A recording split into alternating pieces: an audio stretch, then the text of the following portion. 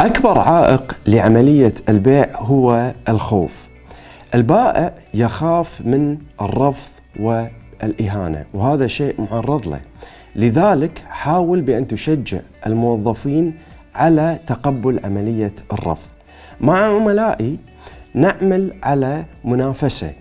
اللي يجيب أكثر عدد رفض راح نعطيه مكافأة. من خلال هذه العملية لاحظنا أن اللي يجيب عدد رفض أكثر يجيب بيع أكثر. وهنا يكون البائع متقبل عملية الرفض والبيع يزيد.